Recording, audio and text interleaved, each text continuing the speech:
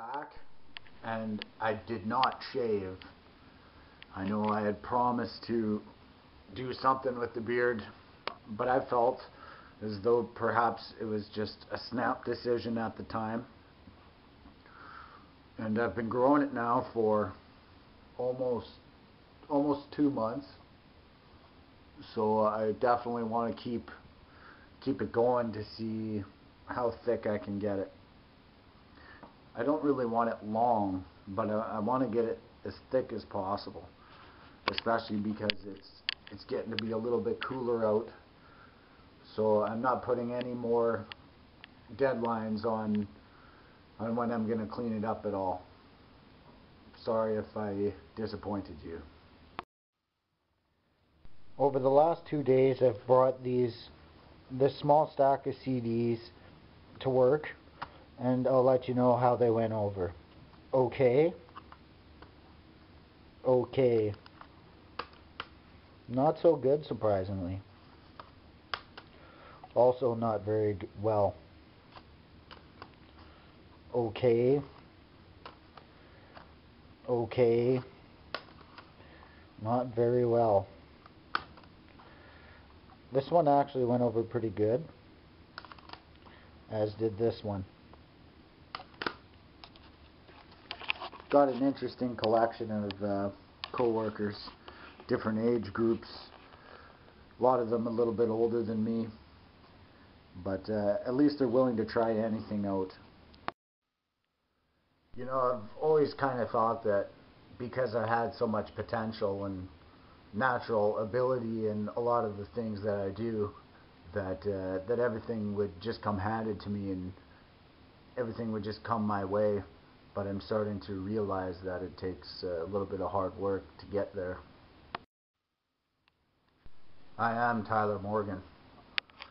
I've bounced around a little bit in life. I've jumped from this job to this job, from this town to this town, and I've always kind of thought in my head that because I've done so well at this certain situation or that certain situation that that those experiences should just carry over to the next thing that I try and accomplish, to the next thing that I try and do. But every time I start somewhere else new, I've, I've got to start from the bottom and, and claw my way back up again. And I'm not even really in a place right now where I feel like I can dig some real roots. So I've really got to spend these next month, couple months, trying to figure out what it is I'm I'm I'm gonna plant my teeth, sink my teeth into, and then that way I can get some roots dug down again. It'll definitely be in this city. I just don't know what it is that I'm gonna dig my teeth into. I've really got to explore all options and and really pick something that I like.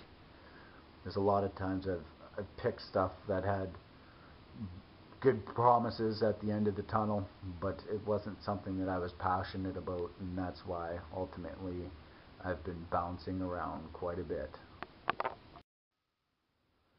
When I talk about laying down some roots and staying put, so to speak, that doesn't, I'm not talking about getting a wife and, and having children because because that will come that's not something that I'm I'm searching for that that will fall into place.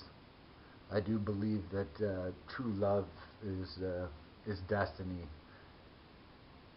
When I talk about putting down roots and I want to get involved in something creative that that can be a passion of mine that can make me happy and reflective and then true love will find me after I'm happy with myself.